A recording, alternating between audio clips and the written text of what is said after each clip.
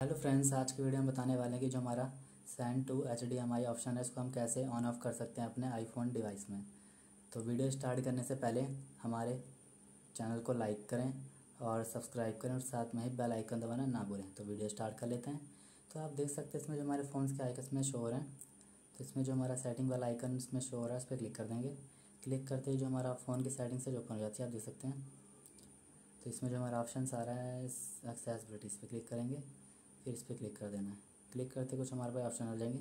फिर हमें ऑडियो पे क्लिक करना है। ऑडियो पे क्लिक करते आप देख सकते हैं इस पर लिखा हुआ है send to H D M I तो नीचे भी लिखा हुआ है कुछ any extremely connected media device solve we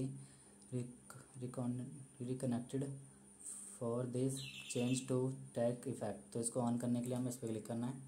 click करते ही हमारा send to H D M I option on हो जाएगा। और इस पर क्लिक करते ही हमारा जो send to H D M I option है ऑफ़ हो जाएगा। तो इसको हम अपने तरीके से ऑन ऑफ़ कर सकते हैं सेंड टू एच ऑप्शन को। तो आपको वीडियो अच्छी लगी तो लाइक करें सब्सक्राइब करें और साथ में ही बेल आइकन दबाना ना भूलें। और थैंक यू